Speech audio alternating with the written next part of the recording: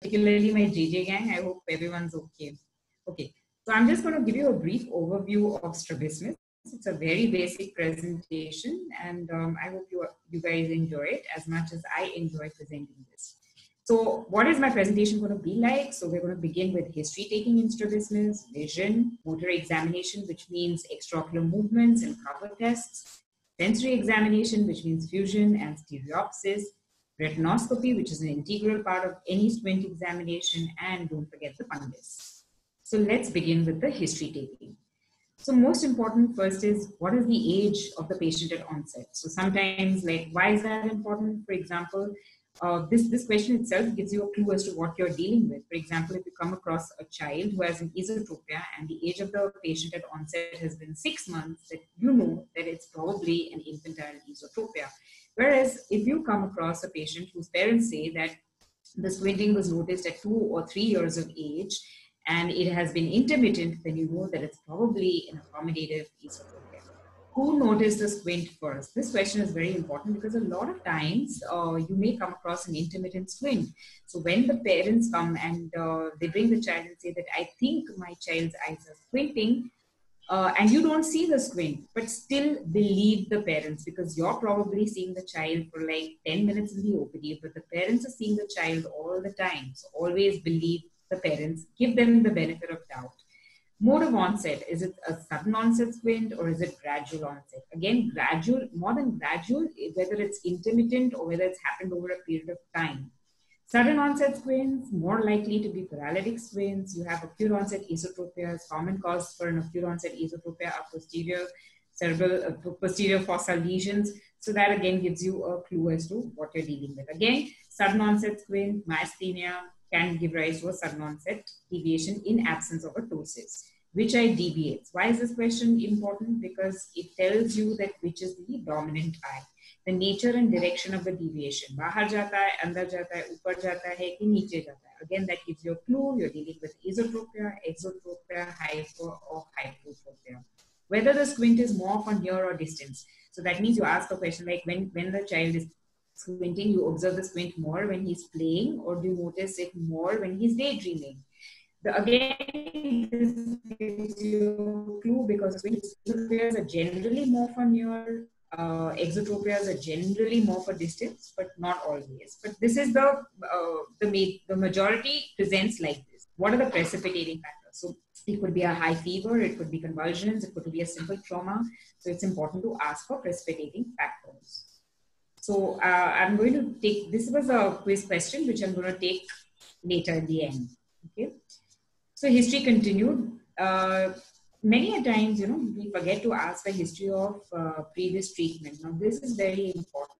I'll tell you why sometimes JJ hospital itself, uh, the parents don't like to tell that the child has been operated once or the patient doesn't hides that history. Then when I take up the patient on table and if I've not been able to do a slit lamp examination before, which does happen many times in children, it's not possible, you suddenly see a scar of surgery and then your whole treatment plan changes.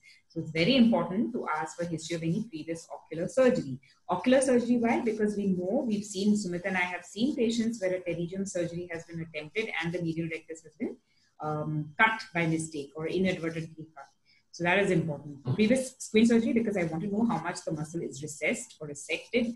Any ambulatory treatment, any patching treatment, I want to know because I want to know whether the squint is alternating or not originating. Birth history, very important. Why is the birth history relevant? Because we have seen that patients who are premature or preterm or who are born with an IVF uh, process or are twins who have delayed milestones, they are the ones who have a greater risk of developing a squint. Family history again comes very important. Here's a picture on the side. You have a father and a child, both with bilateral ptosis and bilateral eye movement. So what they have is a congenital fibrosis syndrome father, son both having the same thing. So that's the reason why you want to know the family history. The next thing, the first important thing when you start evaluating your squint is you notice a head posture. How do you notice the head posture? When you're observing a squint, never be in a hurry to start examining the squint per se. First, just simply observe the patient. Ask him to look at a distant Snellen's chart, and that's where you'll pick up the head posture. Why is the head posture important? Because if the patient has a head posture, it tells you that the child is trying to maintain a field of binocular single vision and place it centrally. And uh, usually children who have a head posture are not amblyopic. The next thing, start examining the patient. Now, again, when you're examining the patient, don't be in a hurry. First, try and see the vision binocularly. Why do you have to try and see the vision binocularly? Because that's the time that you'll pick up the head posture of any. So then, the, after seeing the patient and observing the vision binocularly, then you start testing it monocularly Now, when you're patching the child, make sure that the child is not peeking. Like if you see this first picture, the child is peeking and cheating. So although you might think that you're seeing the monocularly, you're testing the vision monocularly, the child may be actually seen from the other eye. So a good idea, ideally, would be to patch the eye like this. But again, in our general OPD setting, this all is not possible. So basically, just make sure that the child's eye is covered well, or make the child sit on the mother's lap.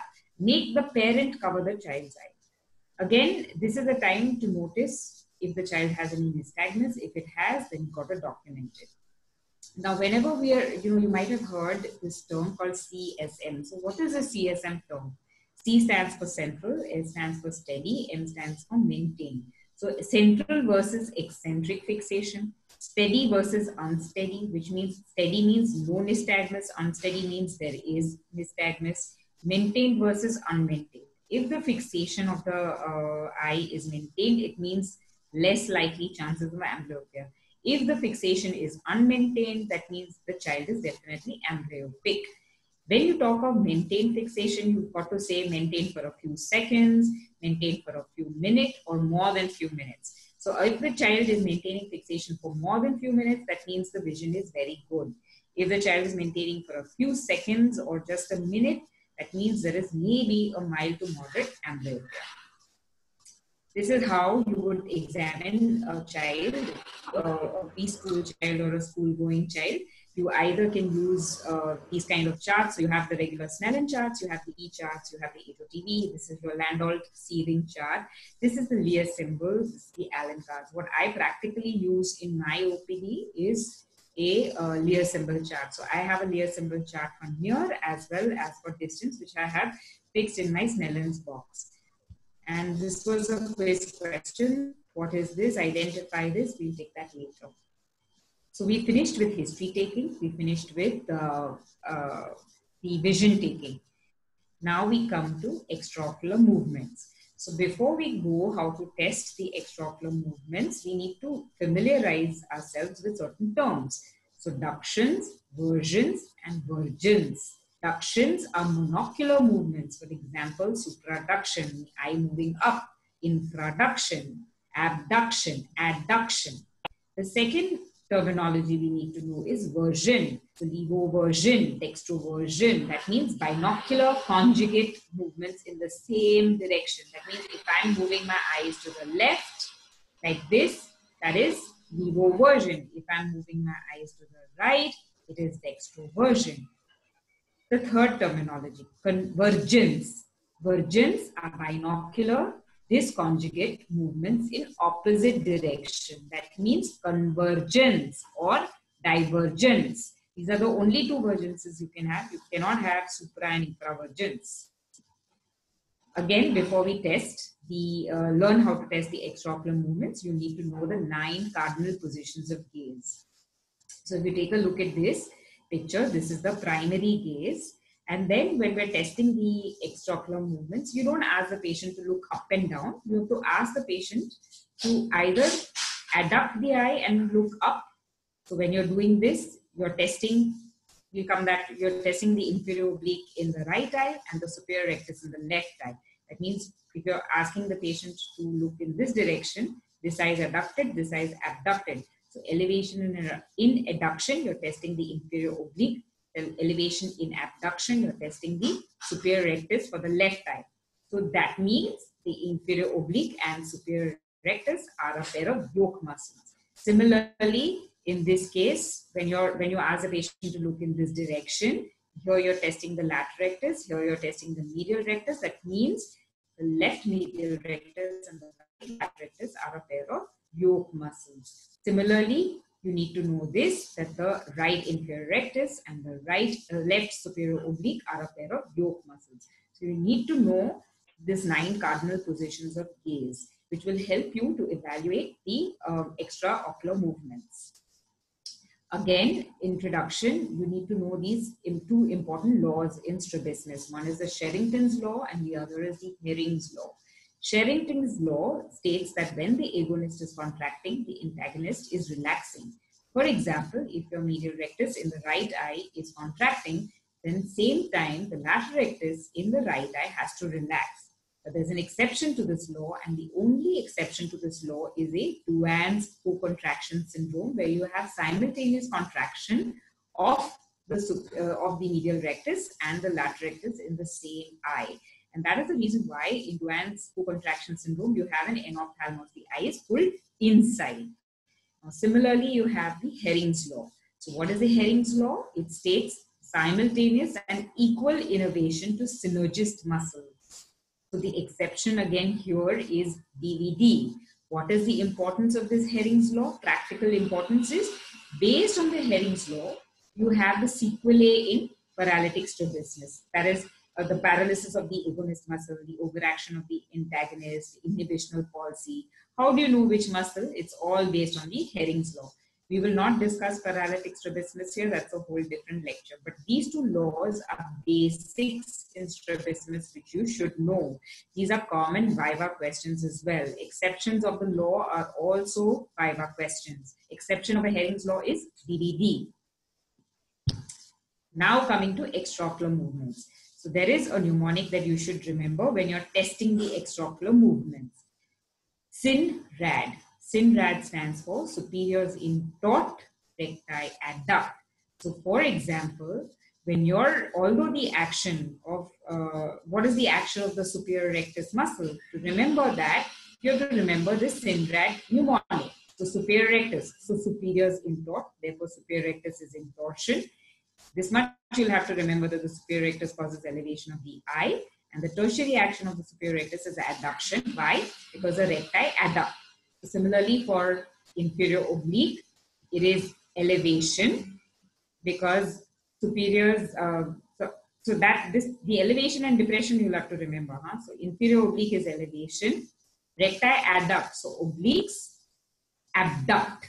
So therefore the other action of inferior oblique uh, is abduction and the, and the primary action is extorsion because superiors intort, so inferiors extort.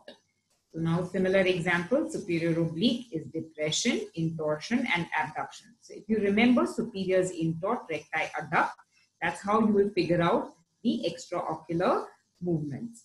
But remember, when you're testing the extra, now this is the action of the muscle.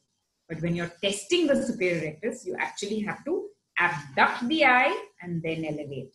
When you're testing the inferior rectus, you have to abduct the eye and depress. When you're testing the obliques, you've got to abduct the eye and elevate for the inferior oblique. For the superior oblique, you have to abduct the eye and depress.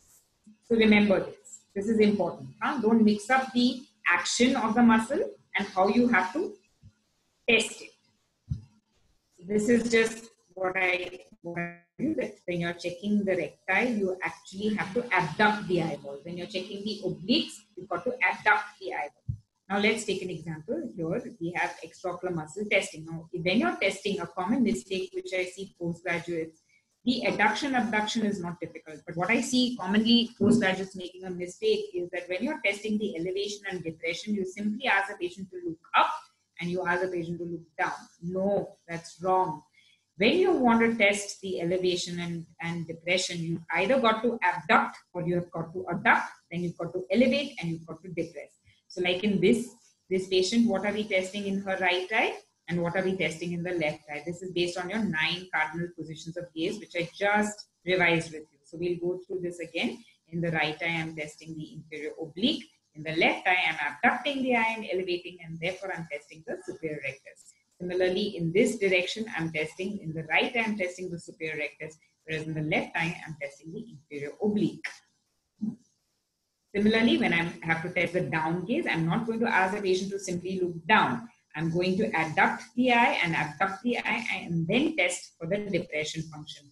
So here I'm testing the inferior rectus, whereas here into the left eye, I'm testing the superior oblique. When I do this, I'm testing the yeah, superior oblique in the right eye and the left eye, I'm testing the inferior rectus.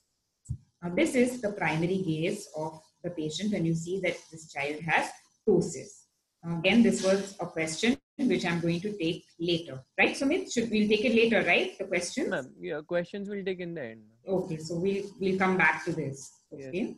these are all just questions. Okay, so we finished the first part, which is history taking. We finished the second part, which is vision, and now we come to the third part. I've introduced you to some laws. We understood how to test the extraocular movements. Now we come to the fourth part. So again, before we start to cover tests, we need to familiarize ourselves with two important terms. One is tropia and the second is phoria.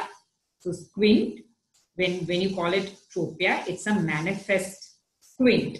So manifest squint is called as a tropia. That means when you look at the patient, you will see a visible squint. That means when the patient walks into the OPD, you're pursuing the patient for history and you see a visible squint, either an exo or an eso or a hyper or a hypo. What is a latent squint? Latent squint is also called as a phoria. This means that when you see the patient, the eyes look straight. But when you break the fusion, by doing the alternate cover test, the squint becomes evident. So phoria means a hidden squint. The squint will not be visible to you. Many a times, uh, some of you may have seen that patients with intermittent divergent squint, as and when you're talking to the patient, the eye moves in and out like a pendulum. So these again are large phorias. So now this is a picture to show you what a manifest squint is and a latent squint. So if we take a look at this picture, and looking at this picture, without me doing anything, the patient has a visible squint. So this patient has a left exotropia. Now, if you take a look at this child, this child, when she was talking, the eyes are straight, but the parents say, no, my child has a squint, I'm seeing a squint. So we do the alternate cover test, break the fusion, and on breaking the fusion, you see that the left eye has deviated out. So therefore, this makes it a phoria. Now coming to the first part of the motor examination, and this test is what we all commonly do in our OPD, and this is called as the Hirschberg's test. So what is this Hirschberg's test? It measures the deviation of the corneal light reflex from the center of the pupil. So this everybody I think would know. We use the torch, we're looking at the patient, we're shining the torch like this, and we see the position of the light reflex from the center of the pupil. Now, one millimeter of decentration corresponds to seven degrees of ocular deviation. So when you see a pupillary reflex at the at uh, sorry when you see the light reflex at the pupil margin, it is approximately 15 degrees. If you see it at the limbus, it is approximately 45 degrees. Between the pupil margin and the limbus, you then calculate approximately 30 degrees, like this, what you see in this picture. So this would be the normal. If you see it at the pupillary border, it means it's 15 degrees. If you see it somewhere in between the pupillary border and the limbus, it would probably be 30 degrees.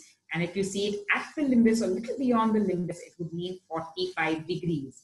Another important term is that when a lot of us talk in terms of degrees, but many of us talk in terms of prisms. So one degree is equal to two prisms. So if you see a 15 degree uh, squint, it would mean 30 prisms. 30 degrees is equal to 60 prisms. 45 degrees is equal to 90 prisms. That is something that you need to remember. Now we come to the cover test. So cover test comes as a short note in your exams. Motor examination may come as a full question in your exam. If they ask you motor examination, then you're supposed to talk about extraocular muscle actions and how you're going to test them, mention about the nine cardinal positions of gaze, and then you start talking about your cover test. Now your cover test has three components. One is the cover test, second is the uncover part of the test, and third is your prism bar alternate cover test. The cover test is used to detect tropias. I familiarized with you that term tropia means manifest squint. Uncover test is used to elicit aphoria. Phoria means latent squint. And prism bar alternate cover test is used to measure or quantitate the amount of squint. So again, uh, just to revise with you, it is used to detect tropias. Remember, all your cover tests have to be performed for distance and for near. What will you use for distance? Your target for distance will be your Snellen's chart. What will be what will you use for near? So use an accommodative target. For example, a Snellen's near sorry. Use an accommodative target. For example, either you have a Snellen's near chart or you use a simple toy with fine details. Commonly, you'll see uh, us using in the OPD, what we use in, uh, is a pencil, and on top of the pencil, I put a toy. Or if I have an ice cream stick, I've, I've made some stickers on that ice cream stick. Or if I have finger puppets, I put the puppet on the finger and I ask the child to look, stare at the nose or, or to stare at the uh, eyes of that uh, animal. Ideally speaking, okay, you're supposed to do the cover test in all the nine gazes because why you want to do it because if your angle of the squint is not the same in all the cases that means there is some paralytic element to it. Now it's easier said than done. I myself i mean although you know i've written here nine cases i myself do not i practically i don't measure in all the nine cases but ideally yes you're supposed to at least mention that you're going to make you, you like to measure in nine cases in your exam but the most important gaze is your, um, you know, when you're looking for vertical squints, up gaze and down gaze. Also, when you want to uh, elicit an A pattern or a V pattern, you've got to know up gaze and down gaze. Hmm? Now, how do you perform this test? You cover the patient's apparently fixing eye.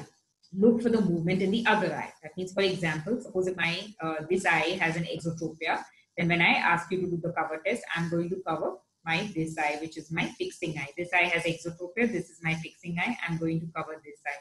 When I cover this eye, I have to see what happens to this eye. So if this eye moves towards the center, from outside from to the center, I have an exotropia. Suppose if my eye moved from the uh, nose towards the center, I have an esotropia.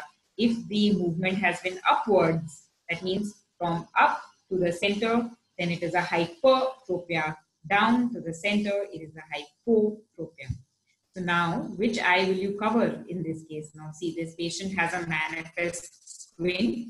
He has an esotropia. So, which eye will you cover? You will cover this eye when you're doing the cover test. Now, similarly, if the patient has an exotropia, like you see in this picture, the right eye has an exotropia. So, which eye are you going to cover? You're going to cover the left eye. And when you cover the left eye, this eye will move to the center to take up fixation. Similarly, when you cover this eye, this eye moves from the nose towards the center to take up fixation. So that's your cover test. What's the alternate cover test? So the alternate cover test reveals the total amount of deviation. So you cover the fixing eye and then you quickly shift the occluder to the other eye and then do it several times. I've seen this is very easy. Everybody does this in the OPD. Okay. So that's your alternate cover test. Once you've removed the cover, you note the speed of recovery as the eye returns back to the pre-dissociated state. Now, I will show you a video of how to do the alternate cover test. So just take a look at this video. Just a minute, huh?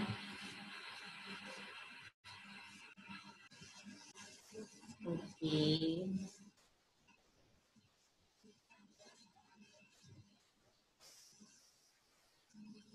Maybe two minutes. Yes, ma'am. No problem.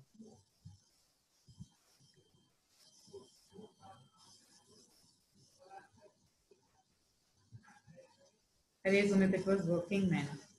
uh, it's okay, ma'am. We. Uh, I will show you the video in the yeah, end after I yes, minimize it. Okay. Yes, ma'am. Yes, ma'am. One second. Okay. So now, like I just I told you that in in the cover test you look for movement. Right? Now, suppose if I have a right exotropia, I have covered my left eye, and normally, what would I expect this exotropic eye to come to the center and take up fixation? But what if you see no movement? That means that you've covered the wrong eye. So you've got to cover the other eye and look for the movement. Second possibility is that the patient's fixation is eccentric and therefore no movement. Third possibility is that you made a mistake. The patient does not have atropia. So you do the uncover test to rule out a phoria. And if still there is no movement, then probably the patient does not have a squint. Now this is quite unlikely. But these three possibilities are definitely there. What is an alternating squint? So, lot again, a lot of times you will see patients, uh, students in the OPD doing this. Ah, either they go, either they go, and the eye is moving like this, like alternately, and then they say, okay, this is an alternating squint, madam. So I ask them, what is the vision? Right eye vision is 660, left eye vision is 660. This itself is a clue. If you have so much of disparity between the vision, where right eye is 660, right eye is exotropic, left eye vision is 66, this cannot be an alternating squint. So what is an alternating squint? When the squinting eye is able to maintain central fixation in spite of removing the cover from the opposite eye, the squint is said to be alternating. So now, for example, this patient has a left exotropia so if you have to do the cover test, you will cover the right eye. Now, if once you've covered the right eye, okay, the left eye has come to the center and it is taking fixation. Now I have removed the cover. See, I have removed the cover from the right eye. The left eye continues to maintain fixation. This is an alternating squint. Okay, just doing covering like this, like this, and doing an alternate cover test is not an alternating squint. Another hint I have told you that if the squint is truly alternating, the vision should be more or less equal. If the vision is more or less equal, the squint is usually and or mostly an alternating squint. If you find that, let's say, the right eye has 618, the left eye has 66 vision, the right eye has an exotropia, probably the right, it will still be an alternating squint with moderate amount of amblyopia. Okay, but if you have a 660 then less likely that this squint is alternating. So the vision will give you a clue. Now in this patient, is this an alternating squint? So see, now he, she has an exotropia, uh, sorry, an esotropia in the right eye. So what have I done? I have covered the fixing eye. Left eye is the apparently fixing eye. So if I've covered the left eye, this patient, instead of looking to the center, the eye has, she's looking more exotropic. That means this is not an alternating squint. This is a right esotropia with poor fixation. Okay, and if you very see, you've got a mature cataract in this side. Hmm? Now, uncover test. The uncover test is used to detect phorias or, you know, basically intermittent squints or latent squints. So what you have to do here is you have to cover one eye you can cover any eye. So remember what I told you for an uncover test that both the, the patient walks in with no squint. Both eyes will look straight. So either I can cover the right eye or I can cover the left eye. What you have to do is when I've covered, suppose the right, uh, suppose my right eye, I have to look at what has happened to my eye under the cover. So I cover this eye and I quickly remove the cover. And then I see what has happened to the eye under the cover. So when you've uncovered it, if the eye has deviated out and it moves to the center, it's an exophoria. If the eye moves in, it is an esophoria. If the eye moves from up to the center, it is a hyperphoria, and down to the center, it is hypophoria. So, in what is the difference between the cover test and the uncover test? In a cover test, I'm looking for the movement in the other eye. Okay, again, cover test. This eye has exotropia. I'm covering this eye and I'm seeing what is happening to this eye what fixation it's taking in this eye, the open eye. The uncovered eyes, both my eyes are straight. I can cover the right eye, I can cover the left eye, and I have to look for the movement, not in this eye, but I have to look at what happens to this eye when I quickly remove the cover. Now comes the alternate prism test. I have a video for all these three, and if it doesn't work during the presentation, I'll show it to you in the end. So now cover test, uh, cover test by itself has no meaning, but it has to be co combined with prisms. So either you can use loose prisms or you can use a prism bar. What does it do? It measures the total deviation. When do we do it? We do it when we're planning surgery or when we need to document the angles. Remember, cover tests have to always be performed with the patient's glasses or contact lenses in place.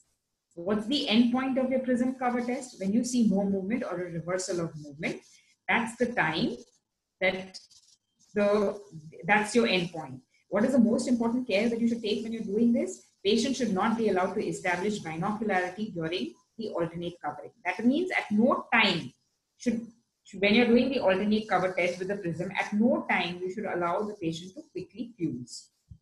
And then you have the Krimsky's test. What is the Krimsky's test? It is done in a patient where the cover test is not possible. So there are certain prerequisites for a cover test. Most important prerequisite is that the patient has to have good vision because only then he's going to be able to concentrate on your Snellen's chart or look at your accommodative target. And second most important is that he has to have a central fixation. If he doesn't have a central fixation, how are you going to do the cover test? So what's the option? Viva question. What is the option if you can't do the cover test? Krimsky's test. So prisms of increasing power are placed before the fixating eye till the light reflex is centered in the deviating eye. So it's like this. This is your squint, okay? You place the prism in your fixing eye, which is your normal eye. And why am I putting it in this direction? Because it's an esotropia. So always the apex is towards the direction of the squint. You put increasing prisms till you see this reflex come to the center. Once this reflex has come to the center, whatever amount of prism that you put, that's your angle of swing.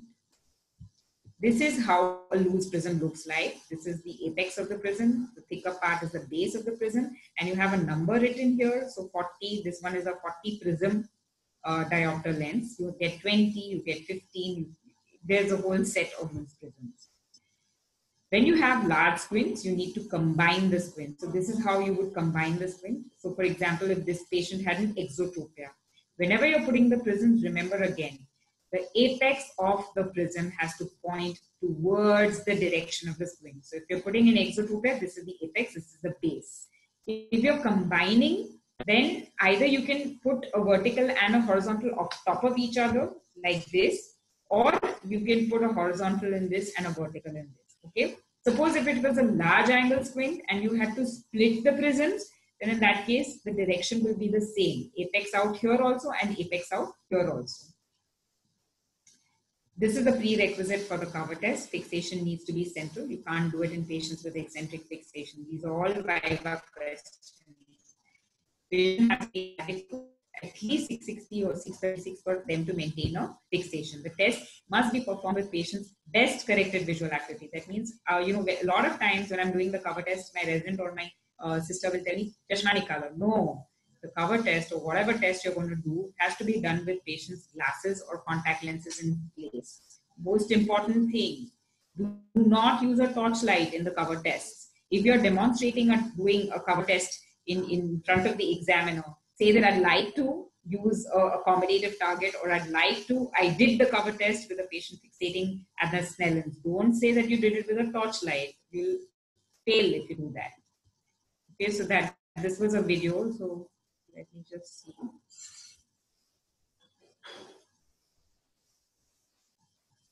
Okay, I'll show it to you in the end.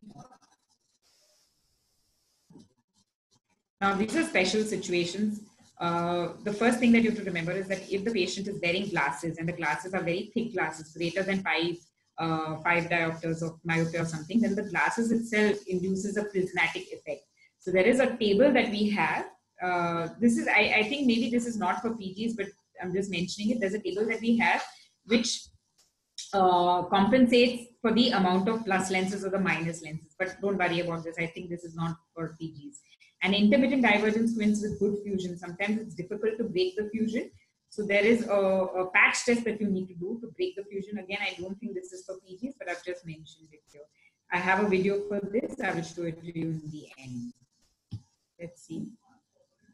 Okay, this one's working. So let me just tell you what this video is about. So this is a patient with an intermittent squint and I'm doing a cover and an uncover test, alternate cover test. The reason I'm showing you this video is that when she is looking at the distance, I'm able to break her fusion. But when she's, uh, when I'm trying to measure the squint for near, I'm not able to do it. And then how do we do that? We do the patch test. So see again, huh? So first I'm doing for the, uh, this is the uncover test. You see, remove the cover and see that the eye has become exotropic. Now I'm doing the alternate cover test. Okay. That's the alternate cover test. Now I've combined it with prisms. But for near, you see there is no movement. In spite of me giving an accommodated target, there is no movement. Now what do I do? There is a squint for distance. There is no squint for near.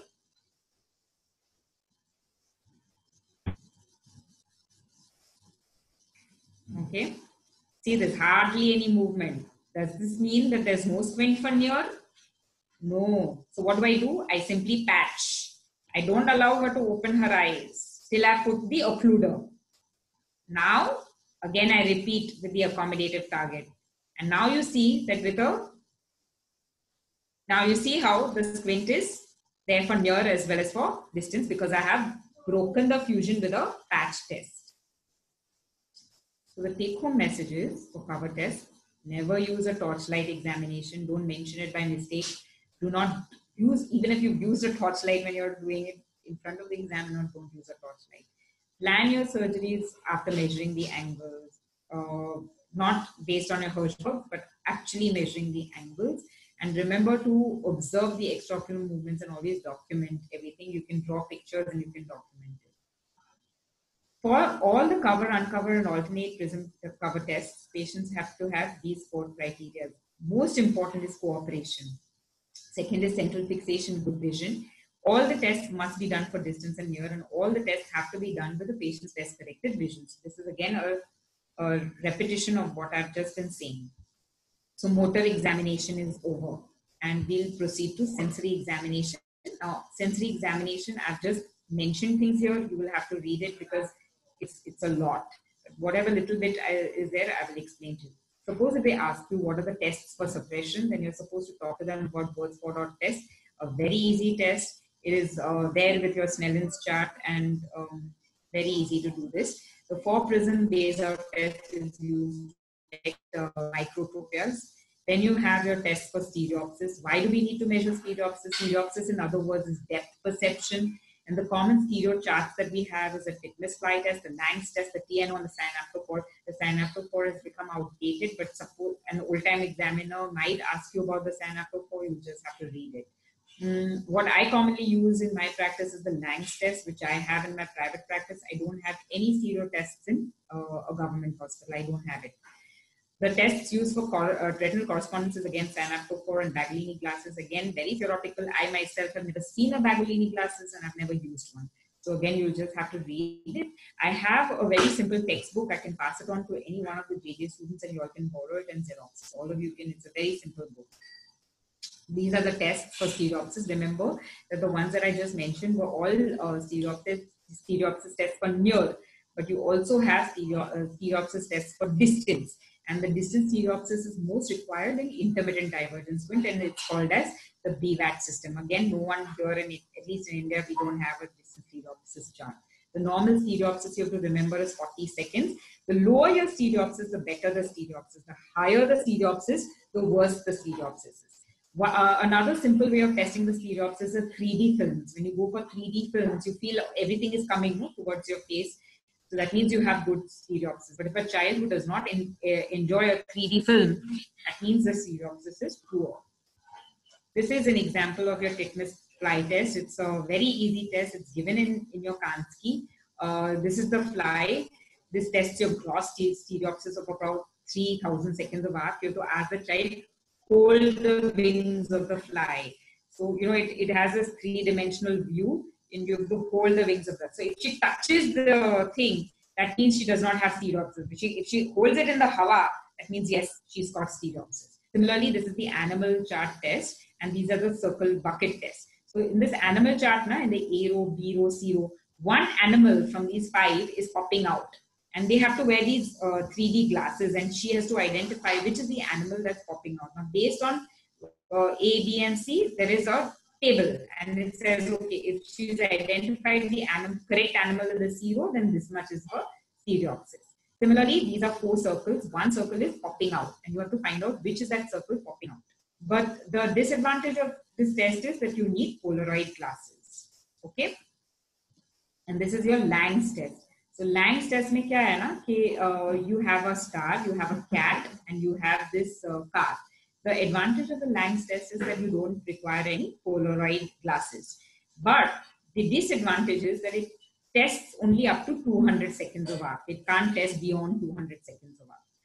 So here what you have to do, no, you hold the chart at a near distance, again with the patient's best corrected visual acuity on. And you have to ask the child that what all can you see? Can you see the star? Can you see the cat? Can you see the car? Depending on what she has identified, at the back of the chart, it's given that this if she identifies a cat, then the stereopsis is 400 seconds of arc. If, if the star has been identified, then it's up to 200 seconds of arc. But remember that Lang's test can only identify up to 200, uh, 200 seconds of arc, not beyond. So it's a good screening test. Now coming to the another important part of the examination. We finished history, we finished examination, we finished EOMs. You're going to go in this order only. Then you do your motor test. Then you try and test your uh, your stereopsis if you have the chart available. And after that, the next thing that you go to is the retinoscopy. Most integral part of the examination. What do I use for dilatation in JJ? We are using cyclopentolate and tropicacyl plus. I call this the CTC protocol. What is the CTC protocol? We use cyclopent, um, one drop. Then I put another drop of tropicacyl plus. Then I put one more drop of cyclo. Why do I have to use a tropicacyl plus? Because it gives me a nice mydriasis. So it makes my retinoscopy a little easy. Cyclopent is a real cyclo, uh, cycloplegic agent. Remember, a lot of times in a lot of hospitals, we are not using cyclopent at all. And we are just relying on tropicacyl. T plus dilate with T plus. T plus is not your cycloplegic agent. It is only your mydriatic agent. So it's not correct to only dilate the patients with tropicacyl plus when you want to know, do the retinoscopy for refractive errors. When do I use atropine? I use atropine only when I have uh, suspect a case of accommodative esotropias and in those patients in whom cyclopent is contraindicated. That leads to the next question. Where is cyclopent contraindicated? It's contraindicated in mentally challenged children. It is contraindicated in those children who have delayed milestones, who have history of convulsions. And in those children, don't give cyclopent. Then you can probably use either atropine or even homide is, is a good choice. Coming to the last part, you have to use the, uh, you have to do the fundus examination. Why is the fundus examination important in any squint? Now, if you take a look at this child, she has a right esotropia. She presented with a simple right esotropia. Her vision was around 636. If I hadn't seen the fundus, then I would have missed this tractional band that is there. And I don't have a peripheral picture, but she was actually a case of tuberous sclerosis. And in the periphery, we saw astrocytoma. So this is very important to always check the fundus examination. Now, for example, another example, if you have a right esotropia and the fundus showed a macular scar, then you know that this is a sensory squint and that the visual prognosis is not good. So therefore, the fundus examination is a mandatory part for any squint examination. Similarly, retinoscopy. A lot of times in my own hospital, I get references where uh, they've done the entire workup They've seen the fundus, but they have forgotten to do the retinoscopy, and then I've had to redilate the patients. Therefore, retinoscopy is very, very, very important for diagnosis of the squint. Now, these are some of the common questions that are asked in the examination. Motor examination will speak of EOMs and cover tests. Sensory examination speak of fusion tests and stereopsis. Visual acuity in children by itself is a full question or a short note. Laws of strabismus can be asked in the Viva. Laws of strabismus are basics of squint. You need to know this because other, uh, if you don't know the law, then you will not be able to identify a paralytic squint. Uh, the sequelae of paralytic, paralytic strabismus is based on these laws, so you need to know these. So these are some of the common questions that is asked in the basic evaluation of strabismus. Okay. Now I have this quiz question. Can I go ahead with the quiz question? Yes, ma'am. Okay. So this was a child observe this child, okay? Uh, make your observations of how he looks. Uh, I'm showing you something else here. I'm showing you something else here. Identify what he has. And, and this was his fundus. So can anyone guess what the diagnosis is? I'm testing your power of observation. And then... Should I unmute one of them, ma'am? little bit about your knowledge. He complained of night blindness. Some of them. Exam going जो भी को पहचानता है. हाँ ma'am ठीक है. Anybody? Uh, Anybody Dr. Varun, can you guess and answer the question? Hello, Dr. Varun. No. Varun, come on. I'm, I'm showing you again, okay? I'm showing all the exam goings again. Finger, sir, don't you think there is some abnormality with the finger in the second thing? If you can just count them, you'll understand. Observe, okay? I'm, huh? Okay, even look at the face. See, he's short, he's stubby, he's got a round face. Okay, count the fingers like what Sumit says. How many fingers does he have? Um, And he complains of night blindness. middle moon silver. Yes, and what is the fundus? What is this fundus picture? Describe it. What is it? This what is this classic disc called? What what is the anybody from other hospitals also whoever's there Sumit? Yes, ma'am. Exam There- going? There are many one. Uh, I will just unmute Dr. Anubhav here. He has an answer. Dr. Anubhav, can you answer? Yeah, Dr. Anubhav. uh, ma'am, there is va- waxy pallor of the disc, Correct. actination, Yes. and the, uh, the bones So what is the fundus picture suggestive of? uh, retinitis? Fantastic. Okay. Now I'll show you Thank the uh, the other quiz questions which I had prepared now. So I'll just show you that. Just give me a moment. Huh? Okay. Okay. Now um, I'm going to show you this video, and you have to identify what squint it is and what are the mistake I have made in this. Okay. I've made a mistake here. Observe.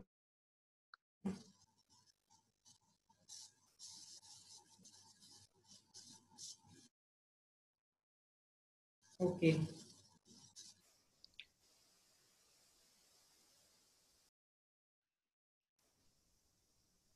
basic esotropia, esotropia, which is around four years of age.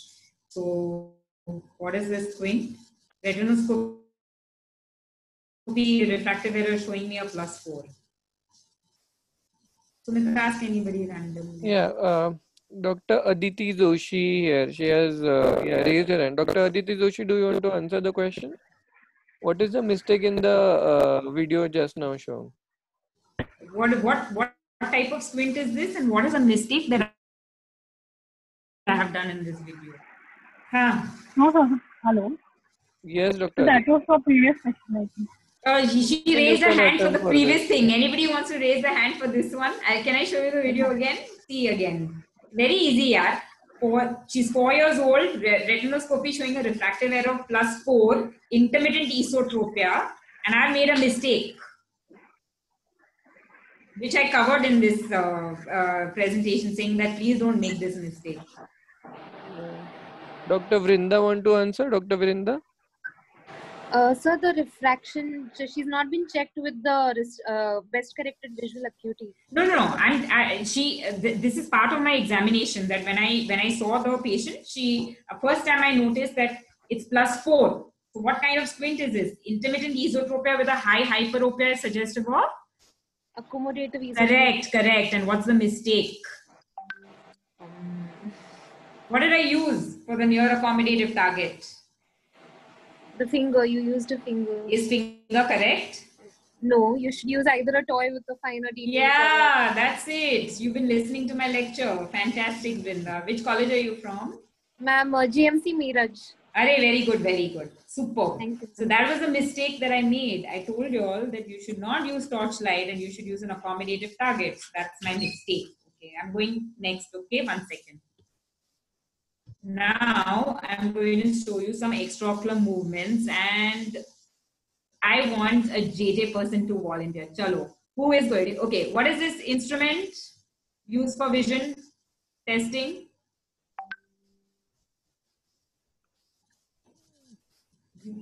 Dr. Anjali, would you like to answer this? Come on, come on. Um, Ones who are in the periphery have, should be should have read. What is this instrument? optokinetic drum. अरे very good. Who is this person? Dr. Anjali, ma'am. Super. हाँ सुमित उसको एक बाद में job Yes. एक extra surgery दो. Okay. Very good. Optokinetic drum used to elicit vision and what else? Optokinetic nystagmus. Okay. Okay. One more question. Uh, maybe somebody from another college. Anybody can volunteer.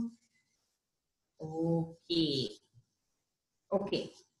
This is the primary gaze of this child, and you see that there is a ptosis. Okay. Now I'm going to show you the next picture. What's the problem? This, there's, okay, I'll give you a clue. The problem is obviously with the left eye. Can somebody tell me what the problem is? Dr. Sushrut, do you want to attempt this? It was for a previous question actually. Oh, still you can try for this. See, I'll show you the previous Sure. slide. Uh, this is there is a ptosis. This side, left. I'll tell you this. There is a ptosis. There's a left hypotropia. That means the eye is a little bit down. Now I'm testing her extraocular movements, and you have to tell me what is wrong and in which eye.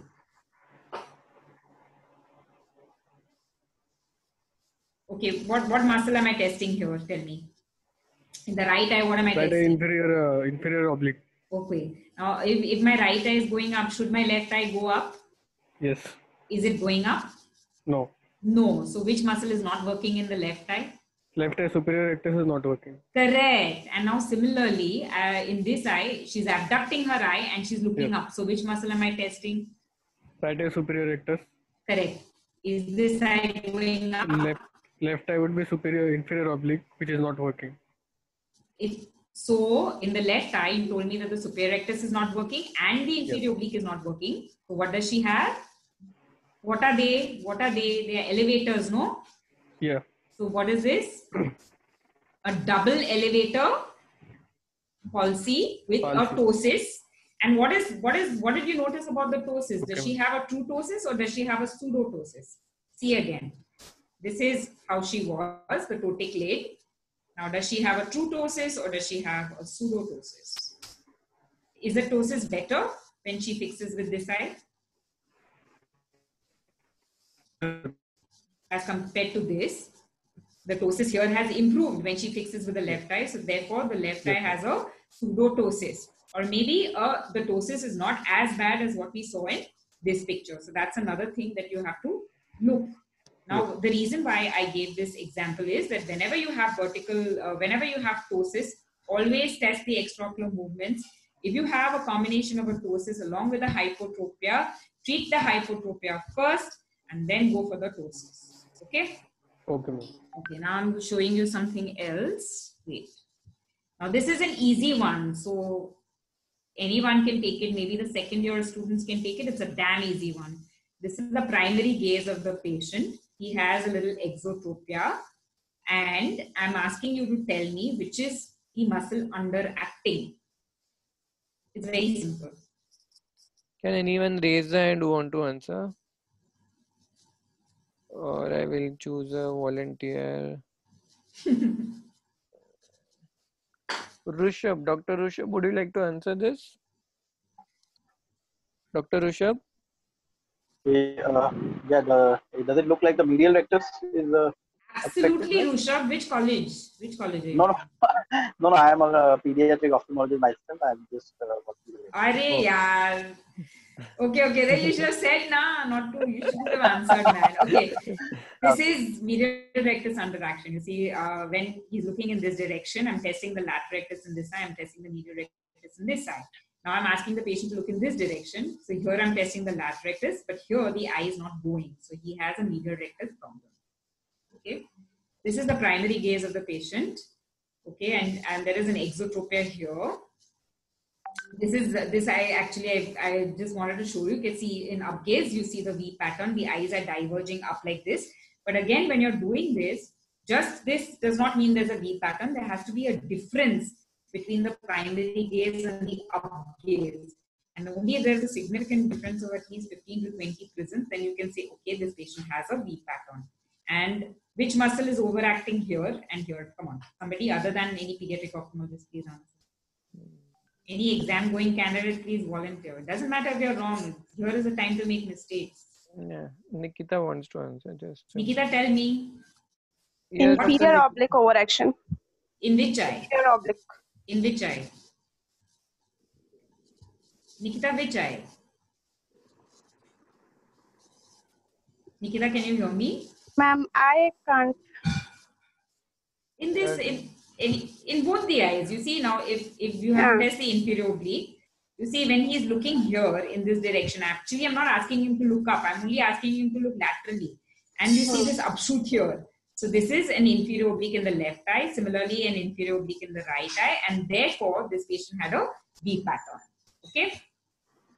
Okay. Anybody else? What's the diagnosis here? This is the primary gaze of this patient. There's an esotropia here, and then there is something here and here. So, does, would anybody volunteer? Mm, Yeah, had a Doctor clue is congenital problem. Uh, Doctor Rupali here wants to answer. ha, Rupali. Yes, Doctor Rupali. Like Yes. Speak loudly so that everyone can hear. Duane's uh, co-contract. Duane's, Duane's syndrome, very good. Uh, if, if, if the child is looking here, there's abduction limitation here. In this direction, there's abduction limitation here. That's your narrowing of the palpebral fissure, widening of the fissure on attempted abduction. Okay, and that's your leash effect. Now, leash effect mimics an inferior oblique overaction, but it's actually the upshoot which, which occurs in Duane syndrome. Okay, and now I will show you the videos. Okay. Um, Ma'am, there are four or five questions also which we Yeah. will have to answer. go ahead, go ahead. Tell me the questions first. Okay. Pritam. I Uh, there is a question. Can you please explain the head posture in the right superior oblique palsy? right. Superior, see, superior bodies usually have a tilt. Okay. So uh, the, the head will be tilted always to the opposite side. I need the this thing. The video. One second, now one minute. The video. Yes, is ma'am.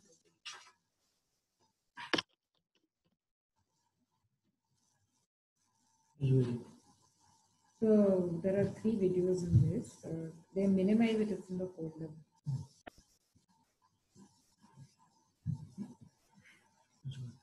Uh, yeah, all these. Should I first finish off the videos? Yes, ma'am, we'll do. Not a problem. Okay. So I'll show you the prism cover test video.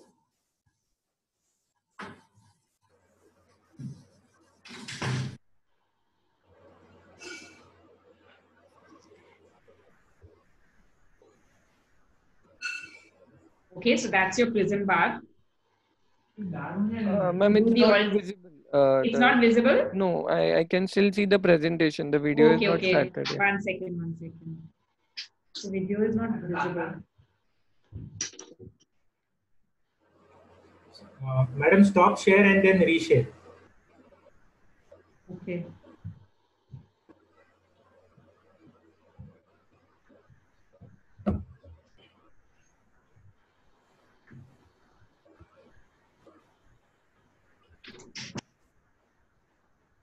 This one.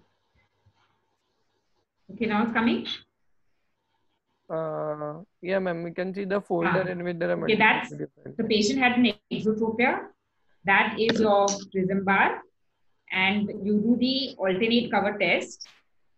Okay, and when you're doing, you're seeing that the eye, the left eye is moving from outside to the center. Ma'am, excuse me, ma'am. Video is not uh, started yet. Like I can just see the uh, list of the videos over here. but It's Oh. not getting played. Okay, I'll try again. Uh, one minute. Huh?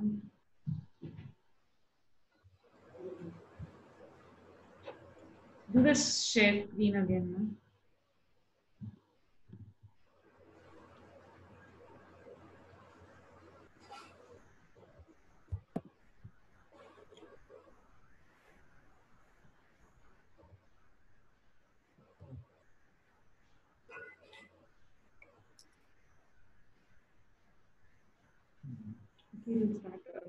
I'll try one last time. Otherwise, I'll just Okay, ma'am, no problem. yeah. Just do the presentation. Working on the presentation. Right. Do the presentation. Just a minute. Do the slide. Slide, slide, slide. Slide show.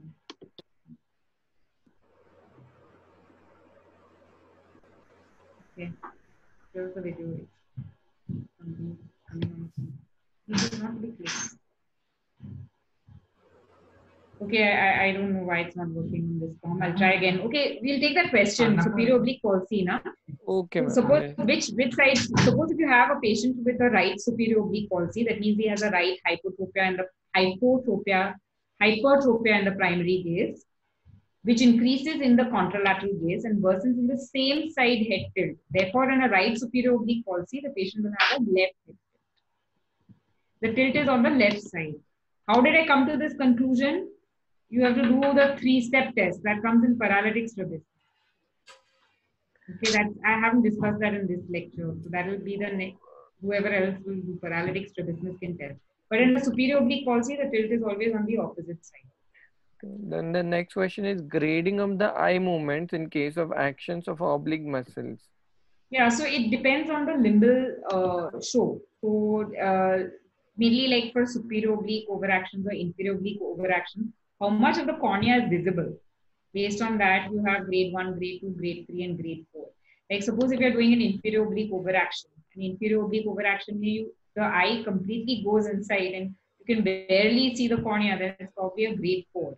The example that I showed you was probably a grade three. So it depends on how much of your cornea you're able to see. Ma'am, then there is, uh, can there be a term called as the dominance in alternate squint? How to identify or is it an obsolete term by now? No, no. They, there is a term called, okay, so old timers will use the term dominant. And there is a term called dominant. So dominant means, I showed you now that uh, suppose if the patient has a right exotropia. And uh, although it may be an alternating squint, but the left eye is the one that she's using for vision. So the left eye is more dominant. The eye, if the, if the vision is equal, then examination. If the vision, if the vision is equal, then you, you then, then the patient chooses which is the dominant eye, and most of the time the right-handed person will have a right-sided dominant. So if the vision is not equal, then the eye with a better vision is going to have uh, be the dominant eye most of the time. See, can you see now Um, the video? there is, yes, ma'am, Yes. the video has started. Okay. yes. So that's your prism. I'm doing the cover test. The patient had an exotropia, therefore the base uh, is in and the apex is towards the direction of the squint. And you're seeing that the eye is moving from outside to the center as I'm increasing the prisms. The end point is still no movement occurs. It's still moving from outside to the center. Basically looking at the eye under the prism. And now it has started moving in the opposite direction. See carefully, it's moving in the opposite direction. So the where it was moving in the opposite direction, that's my uh, the angle. Okay. See again if you want. Alternate cover test with the prisms. It's moving from outside to the center. From 25, I've gone to 30. Moving outside to the center. outside to the center.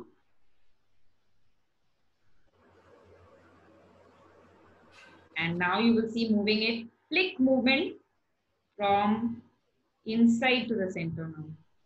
Yep. That's it. Okay, so that's your prism cover test. And uh, the other ones I showed you. Uh, ear, the, yeah, so that these the, the, these were the two videos. Tell me, any other questions are there? Uh, yes, ma'am.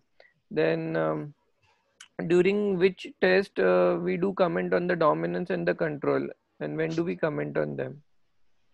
So eh, when you're doing the cover test when you say na, the dominance. So cover tests I usually do right exotropia, prefers left eye fixation. That's how I typically write. You know, my squint when I'm writing now, I write it like this: right exotropia with central steady maintained fixation. Uh, and there you can write left eye dominant. The moment I write, um, you know, one eye exotropia, then the other eye is dominant. Okay. I mean, actually, this dominant concept and all, I don't generally use it so much now. Okay, ma'am. Then uh, for how long should we patch the eye before we break the fusion? Like for how much time it takes to break the fusion before we start So depends on how great the fusion and how good the fusion is. So sometimes in that intermittent divergence squint patient that I showed you the video, the patch was kept for about half an hour or one hour. But the important trick is that when you're removing the patch, don't let her open the eyes. You see in that video also I showed you when, when we removed the patch, her eyes were still closed. And only after I put the occluder did I ask her to open the eyes and we did the alternate correction. So about half an hour to one hour is enough. Okay. And then uh, how to measure a secondary and primary deviation and where do we uh, place the prism in each deviation to measure? Okay, so primary deviation is uh, the deviation with the uh, good eye fixing. And the secondary deviation is the deviation with the paralytic eye fixing. So you can keep the prism in front of any eye. The secondary deviation is always going to be more than your primary deviation. And again, this should be covered in paralytic squints. And then Dr. Divya here wants to know uh, that there uh, could be tropiophoria, but how do we check it in a mentally retarded or a very uncooperative child? ये If- if Tropia there is- matlab the child, the squint is visible, no? So whether mentally retarded or no mentally retarded, if, if the child walks in with a squint, it's a tropia. And phoria is, is a hidden squint. So in a mentally retarded child, it requires a little experience, it requires a little patience. Sometimes I also tell the caretakers or the parents that, uh, you know, I'm not able to elicit the squint. There have been times when the parents say that, no, there is a squint, it's a phoria, but I'm not able to elicit it. So in that case, I give the child a benefit of doubt and say, okay, we observe and I tell the parents, take pictures at home. Whenever you see that the, the fusion has broken and the squint is visible, please take pictures and come back with the pictures. So, like I said, always give the parents a benefit of doubt. Even if it's a pseudo squint, I always tell them, look, it looks like a pseudo squint, but I want to give you the benefit of doubt because you spend more time with the children. So, come back to me again after one month, two months, and take pictures. Keep taking pictures. Okay. Ma'am, in such a case, just to add a sub question, can we just do break uh, accommodation by giving cycloplegics and then look for it? Or that does not make sense? No, no, no, no. Cycloplegics don't break any uh, fusion. If you want to break the fusion, the only way you can break it is by patching the eye, which a mentally retarded child will not allow you. Okay. Cycloplegics don't break fusion. Okay, ma'am. Then uh, why Dr. Aparna wants to know the unit of stereopsis is taken as seconds of arc and why Ah. this is so. I, I don't know that, man. I've always learned it as seconds of arc. Okay. I don't know the physics behind it. I'm sorry. Okay. Then how to differentiate between a fourth nerve palsy and a skew deviation? Ah, so that uh, fourth nerve, a skew deviation, uh, you'll have to do that three-step test. Ka ek fourth step aata hai to see if the hypertropia, hypertropia when the when the patient is lying down, na, you make the patient lie down and then you see whether the hypertropia increases or no. In a skew deviation, the hypertropia will increase. In a fourth nerve palsy, it will not increase. Okay, ma'am. And So that is that is the fourth step of the three-step test. Again, comes under paralytic uh, presentation. But that's a good question. It's a good. I mean, somebody if your examiner is a uh, uh, strabismus person, then she will ask. Otherwise, don't worry. Normal examiner is not going to ask. From exam point of view, what you should know thoroughly are your cover tests, uh, your extraocular movements, what their actions are, and how you have to elicit them. The laws, the two laws. Those are very important. okay. Many questions are on paralytic, ma'am. We might have to take one more lecture on the paralytic. Yeah, paralytic. One one more question, ma'am. In Duane syndrome, is the globe retractions in the type 1, 2, and 3 is always during adduction only? Most of the times, yeah. Most of the times. Okay, ma'am. I think that covers the most of it. My other questions are all around the paralytic squint. Hmm.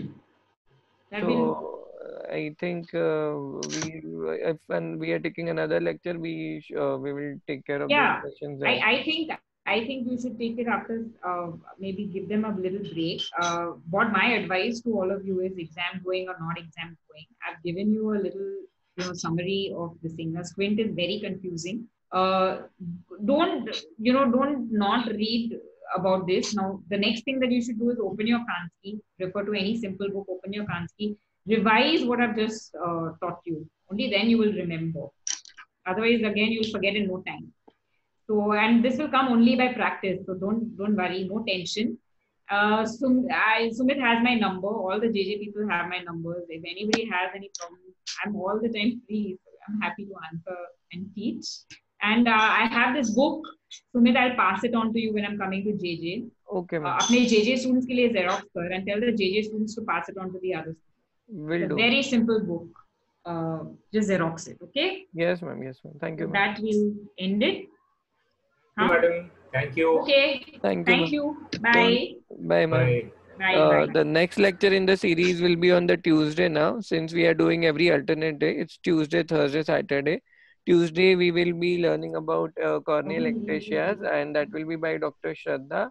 So we'll meet on 8 p.m. on Tuesday. Thank you, ma'am. Thank you, Sapnesh sir. I will end the meeting now. Thank you. Thank you.